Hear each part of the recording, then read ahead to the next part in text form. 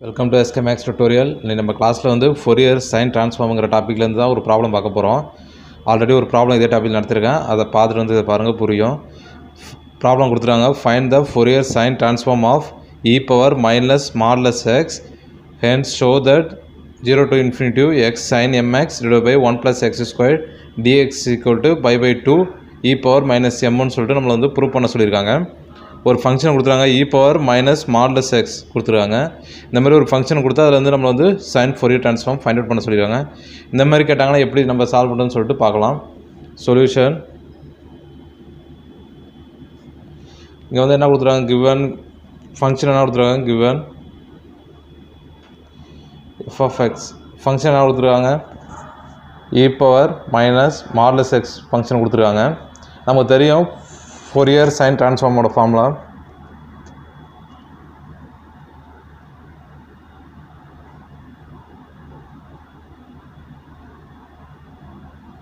நமக்கு ஃபார்முலா தெரியும். Capital f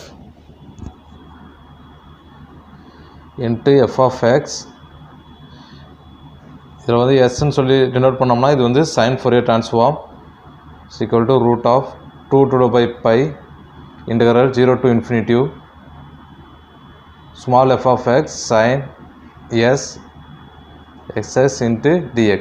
இதான் வந்து Fourier sine transform f of x வந்து ப்ராப்ளத்தில் கொடுத்துருவாங்க இ பவர் மாடலஸ் எக்ஸ்னு சொல்லி கொடுத்துருவாங்க. இப்போ மாடலஸ் எக்ஸை வச்சு நம்ம வந்து சால்வ் பண்ண முடியாது. இதை வந்து நம்ம வந்து மாற்ற போகிறோம் இப்போ வந்து modulus x e power modulus எக்ஸ்னால் நம்ம மாடலஸ்னால் ப்ளஸ்ஸும் இருக்கும் மைனஸும் இருக்கும். இப்போ என்ன கொடுத்துருக்காங்க? மாடலஸ் எக்ஸ் கொடுத்துருக்காங்க. இதில் வந்து ப்ளஸ்ஸும் இருக்கும் மைனஸும் இருக்கும். இப்போ வந்து ப்ளஸ் எடுத்துக்கங்க. ப்ளஸ் எக்ஸ் எடுத்துட்டிங்கன்னா வெளியில் ஒரு மைனஸ் இருக்குது ப்ளஸ் எக்ஸ் எடுத்துங்க. அப்போ மைனஸ் எக்ஸ் தான் கிடைக்கும். இதுவே வந்து மைனஸ் எக்ஸ் எடுத்துங்க. மாடலஸ்னால் ப்ளஸ் மைனஸ் இருக்கும். அதான் சொல்கிறேன் வெளியில் ஆல்ரெடி ஒரு மைனஸ் இருக்குது அப்போ வந்து ப்ளஸ் எக்ஸ் கிடைக்குது. இப்போ நமக்கு வந்து ப்ராப்ளத்தில் வந்து ஃபார்முலா என்ன இருக்குது ஜீரோ டு இன்ஃபினிட்டி இருக்குது சென்டர் பாயிண்ட் ஜீரோ எடுத்துங்க. இது வந்து ப்ளஸ் இன்ஃபினிட்டி இது வந்து மைனஸ் இன்ஃபினிட்டிவ் நமக்கு ஃபார்முலா என்ன இருக்குது ஜீரோ டு இன்ஃபினிட்டி இருக்குது ப்ளஸில் தான் இருக்குது மைனஸ் இன்ஃபினிட்டி கிடையாது.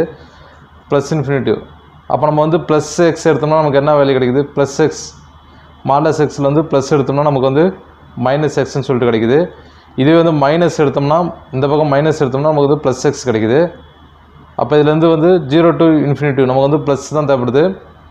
அப்போ இதோட எஃப்எஃப் எக்ஸ் என்ன இருக்குது மைனஸ் எக்ஸ் இருக்குது இப்போ அதனால் வந்து எஃப்எஃப் எக்ஸ்க்கு பதிலாக வந்து மைனஸ் எக்ஸாக சப்ஸ்டியூட் பண்ண போகிறோம் அப்போ f f x equal to e power minus x இதான் எடுத்துக்க போகிறோம் இது எப்படி எடுத்துக்கிறோம்னு பார்த்துங்க மாடலஸை இது வந்து ப்ளஸில் ஒன்று எடுத்துக்கிறோம் மைனஸில் ஒன்று எடுத்துக்கிறோம். எக்ஸை வந்து மைனஸாகவும் ப்ளஸ்ஸாகவும் எடுத்துக்கிறோம். ப்ளஸில் எடுக்கிறப்ப மைனஸ் நமக்கு வேல்யூ கிடைக்கும். மைனஸ் எடுக்கிறப்ப ப்ளஸில் கிடைக்கும். நமக்கு வந்து ஃபார்முலா வந்து ஜீரோ டு இன்ஃபினிட்டி ப்ளஸில் தான் வரும். அப்போ நம்ம வந்து ப்ளஸ் எக்ஸ் எடுக்கிறப்ப நமக்கு என்ன கிடைக்குது? மைனஸ் கிடைக்குதா? அதான் வந்து எஃப் ஆஃப் எக்ஸ் எடுத்துங்க. இதோட லிமிட் வந்து என்ன இருக்குது ஜீரோ டு இன்ஃபினிட்டிவ் இப்போ சப்ஸ்கிரைப் பண்ணுங்கள் எல்லாத்தையும்.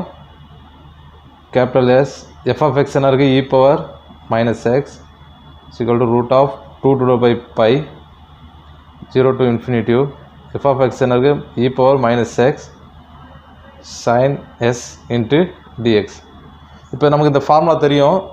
நான் ஆல்ரெடி ரெண்டு ஃபார்முலா சொல்லியிருக்கேன். E power a x sine b x இந்த ஃபார்முலா வடிவத்தில் இருக்குது இதை வந்து இப்போ இன்டர்வல் பண்ணோம்னா அந்த formula integral e power a x sine bx dx equal to இதை இன்டர்வல் பண்ண ஃபார்முலா வந்து e power a x by a square plus b square இங்கே சைன் இருக்கிறதெல்லாம் ஃபஸ்ட்டு சைன் வரும். ஏ சைன் பிஎக்ஸ் மைனஸ் இதுவே சைனுன்னா மைனஸு காசு தான் ப்ளஸ் வரும். பி காஸ் பிஎக்ஸ் இதான் வந்து ஃபார்முலா இன்டர்வலோட ஃபார்முலா இதுவே இப்போ வந்து காசு வந்துச்சுன்னா என்ன பண்ணுவீங்க? ஃபஸ்ட்டு காசு வரும் a cos b x plus வந்துடும் பி சைன் பிஎக்ஸ்னு சொல்லிட்டு வரும்.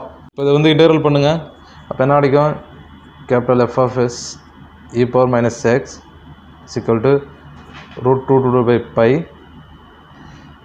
into இதில் வந்து ஏவோட வேல்யூ என்ன இருக்குது ஏ வந்து இதோட கோபிஷன் என்ன இருக்குது மைனஸ் ஒன்று இருக்குது அப்போ ஏ சிக்வல் டு மைனஸ் ஒன்று பி சிக்வல் டு பிக்கு என்ன இருக்குது சைன் எஸ்எக்ஸ் இருக்கா? இது வந்து பி வந்து எஸ்ஸு இப்போ சப்ஸ்டியூட் பண்ணுங்கள் e power ax formula e power ஏஎஸ்க்கு பதிலாக என்ன இருக்குது மைனஸ் ஒன்று இருக்குது x divide by a square minus ஒன்று தானே ஏ ஸ்கொயர் ஒன்று ஸ்கொயர்னா ஒன்று ப்ளஸ் பி ஸ்கொயர் வந்து எஸ் இருக்குது அப்போ எஸ் ஸ்கொயர்னா எஸ் ஸ்கொயர் இன்ட்டு ஏ ஏவோட வேல்யூ என்ன இருக்குது மைனஸ் ஒன் சைன் பியோட வேல்யூ வந்து எஸ்ஸா எஸ்ஸு மைனஸ் பியோட என்ன இருக்குது எஸ்ஸு காஸ் பிஎஸ் பிஎஸ்னால் s x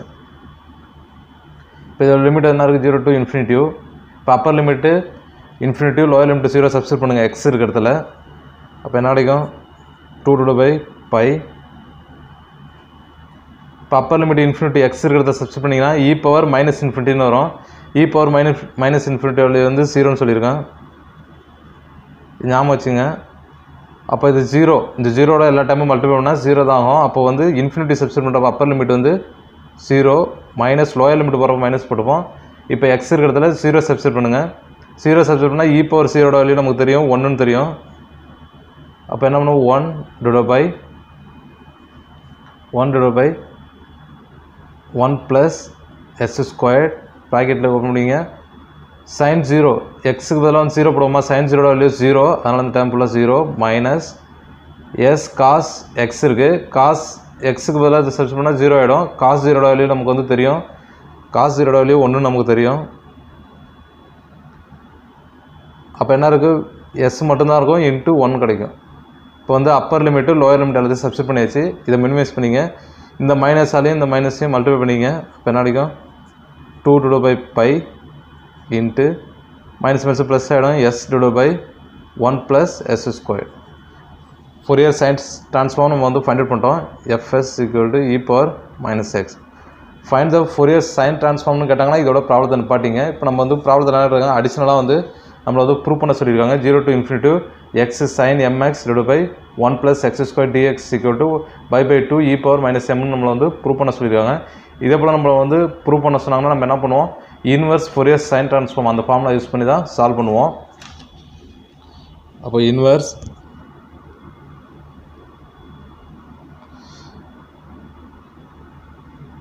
Fourier sine transform இதோட ஃபார்மாக நமக்கு தெரியும். ஸ்மால் எஃப்எஃப்எஸ் நமக்கு வந்து ப்ராப்ளத்தில் என்ன எடுத்துக்கலாம் function small f f x equal to root two two by pi zero to infinitive capital s f x sine x into d s வரும். இன்வெர்ஸ் ஃபோரியர் டிரான்ஸ்ஃபார்மில் டிஎஸ் வரும். டிஎக்ஸ் போட்டுறாதீங்க. இப்போ நமக்கு எல்லாமே தெரியும். எடுத்து சப்ஸ்டிட் பண்ணுங்கள் எஃப் ஆஃப் எக்ஸ் வந்து ப்ராப்ளத்தில் என்ன நம்ம வந்து ஃபைண்ட் அவுட் பண்ணியிருக்கோம் இ பவர் மைனஸ் எக்ஸ் வந்து ஃபைண்ட் அவுட் பண்ணியிருக்கோம் e power minus x equal to root two two by pi limit வந்து zero to infinitive f of s நம்ம வந்து Fourier sine transform கண்டுபிடிச்சிருக்கோம்ல. F of s e power minus x அப்போ இதோட value எடுத்து போட்டுங்க. Root two two by pi s two by one plus s square into sin s ds.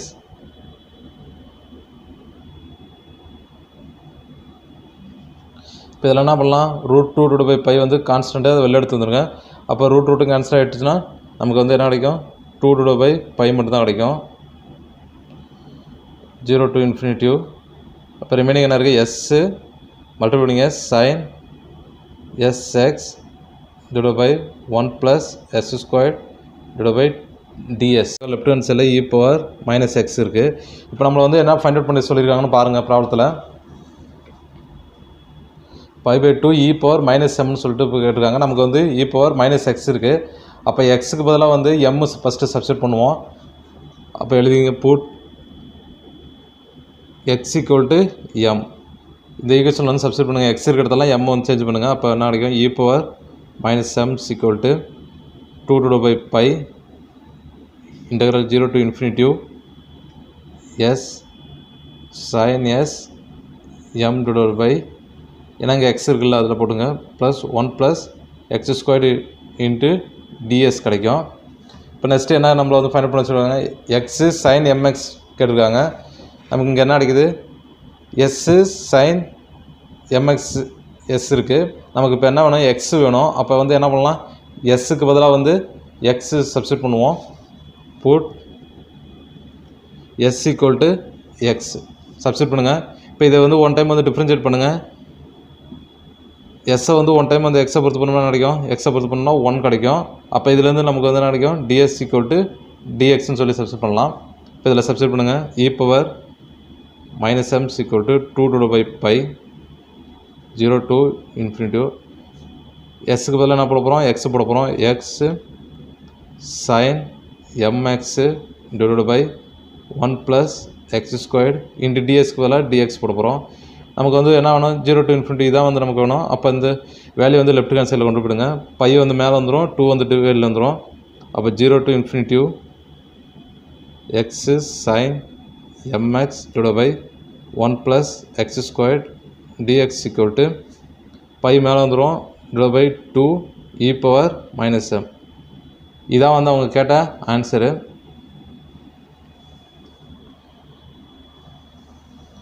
Fourier sine ட்ரான்ஸ்ஃபார்ம்னு சொல்லி கேட்டாங்கன்னா இந்த ரெண்டு ஃபார்முலா மட்டும் தான் யூஸ் ஆகும். Fourier sine transform inverse Fourier transform இந்த ரெண்டு ஃபார்முலா மட்டும் நல்லா ஞாபகம் வச்சுங்க. அதுக்கப்புறம் இன்டெக்ரல் ஃபார்முலா இருக்குது இது ஒன்று ஞாபகம் வச்சுங்க. இதிலே வந்து சைனு காசு வந்துச்சுன்னா எப்படின்னு சொல்லிட்டு ஞாபகம் வச்சுங்க. இது ஒரு ஃபார்முலா யூஸ் ஆகும். மற்றபடி எல்லாமே நம்ம வந்து ஆர்டினரியாக எப்படி இன்டர்வல் பண்ணுவோமோ அதே இன்டர்வல் தான். லாஸ்ட்டாக வந்து அவங்க நம்ம வந்து என்ன ப்ரூவ் பண்ண சொல்லிடுவாங்களோ அதுக்கு அந்த மாதிரி சேஞ்ச் பண்ணிங்க. இந்த ரெண்டு ஸ்டெப் வந்து எப்பொழுதும் பண்ண மாதிரி எக்ஸுக்கு பதிலாக எம் சப்ஸ்டியூட் பண்ணுற மாதிரி இருக்கும். எஸ்ஸுக்கு பதிலாக வந்து எக்ஸ் சப்ஸ்டியூட் பண்ணுற மாதிரி இருக்கும். இது சப்ஸ்டியூட் பண்ணிங்கன்னா லாஸ்ட்டாக வந்து ஆன்சர் வந்துடும் இதில் ஏதாச்சும் டவுட் இருந்துச்சுன்னா கமெண்ட்டில் கேளுங்க. ஓகே தேங்க்ஸ் ஃபார் வாட்சிங்